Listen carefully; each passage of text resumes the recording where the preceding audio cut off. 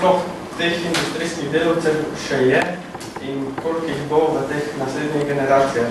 Um, ker namreč uh, večina uh, mladih se zdaj tudi uh, izobražuje in gre, leze proti uh, visoki stopni uh, izobrazbe, uh, a bodo sploh imeli kakšna taka delovna mesta. Uh, in če mi vi lahko recimo poveste, uh, kakšno reformo bi vi uh, za enega mene konkretno, ker sem zdaj star 30 let, uh, pa imam dve leti pa pol delovne dobe, uh, predvidni. Jaz si totalno predstavljam, da bom pač delal dokler bom lahko. Kaj pa vi? A vi bi me poslali s 60 leti v penzijo? Moja mama je stara, uh, je letnih 57, pa ima uh, dela v osnovni šoli, uh, pa si ne predstavlja zdaj penzijo, ker polovico prihodka, ki ga zdaj dobi, si ne predstavlja biti v penziji. Je vedno, ja. E, zdaj ti si šel iz industrijskih delovcev na više izobrazene delovce, ne? Seveda, ker ja, dina ja, lej, e, industriji... Moš vedeti, e, to je deficitarnost poklicev, ne? Mm. E, in deficitarnost poklicov e, bomo fejst plačevali. Vsi visoko izobraženi, eh, vam bom jaz povedala, eh, res je, da eh, se znižujejo, ampak de, poklici še bojo vedno obstajali. Kravc klebar bo še vedno obstajal. Avtomehanik še bo vedno obstajal. V proizvodnah bo še, jaz se upam, da še bo proizvodna obstala v Sloveniji, ker imamo dobre delavce. Tako v lesni industriji, kot kovinarski industriji. Predvideva, ne vem, da verjetno nisi nikoli šel gledati kaj mora en delavec, oziroma eh, v lesni industriji sem je zadnjič rekel, da mora natovoriti ne, 15 ton eh, eh, vagon v 8 uri na rok. Kaj bo ta delac delal? Pri 65 letih.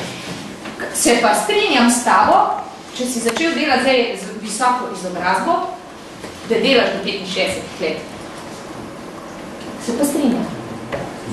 Ker boš lahko, verjetno, predvideval lahko delo. En delavec, ki pa dela za strojem, ki ima ene in iste gibe, ki uh, vsi vemo, lej, uh, jaz bi dala mogoče samo pred, mogoče, uh, uh, da jih kdaj peljete v eno fabriko ur in pogledati, kak se dela. Ne me narobe zdaj zastopiti, kar bom povedala. Učiteljica, ne vem, pri 65 letih, uh, bom tako rekla, eh, bom mogla biti zelo sto, eh, strpna do teh učencev, no? tak se bom najlepš izrazila. Ker vsi vemo, lej, eh, ampak dobro je, učiteljica, oh, se bo še osebno za kateder, pa ima druge možnosti. En delavec pa nima možnost za strojem reči, zdaj bom pa jaz sem malo spočil, ne? oziroma ko bo efekt manjši eh, pri normah, bomo rekel, lepo delo delajec, halo, le, tam imam 20 drugih mlajših, bomo mogli videti, da je. Ali veste, koliko stari uh, gradbeni delovci delajo na terenu? Ja, zadnjič sem imela celo enega 67 let starega. No. Ampak to so predvsem, bom rekla, uh, uh, iz Bosne delavci, vem, ker prihajajo k nam na sindikat, vem, Eh, in nimajo pogoja za upokojitev zaradi tega, ker so v tistem času nebojno niso bili zaposleni. Ampak vsak, ko gre v penzijo, dela potem na črno. Ja. ja. In v gozdu, in ne vem, kje vse.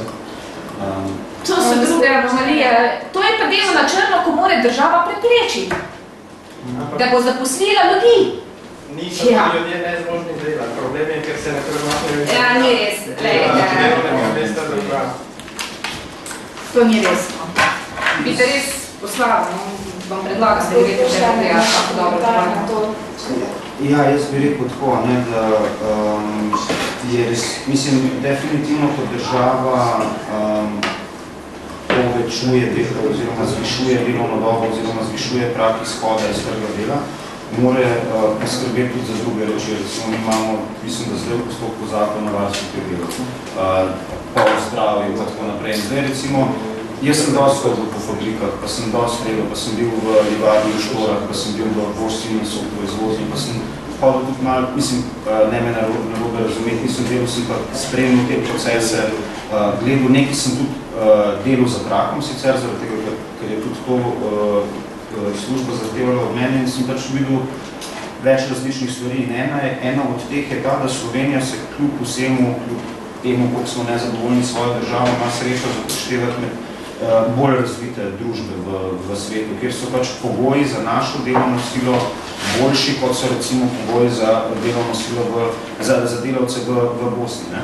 In treba bo delati na ergonomičnosti delovnih mest, treba bo delati na tem, da recimo, če si zidar in če, zidaš, če si po 60 letih na, na, na terenu, pač na gradbišču, da pač opravljaš delo na tak način in opravljaš taka vrsta del, ki so za tvojo telesno počutje in kondicijo še primerna. Recimo, jaz sem tudi že videl 65 let starega zidarja, sem ga videl, ampak je pač uh, mlajšim zidarjem govoril, kaj ne delajo, pa kako naj delajo. Pa je recimo pripravil neke stvari, ni pa uh, vreče cementa nosil do, do mešalca. Ne.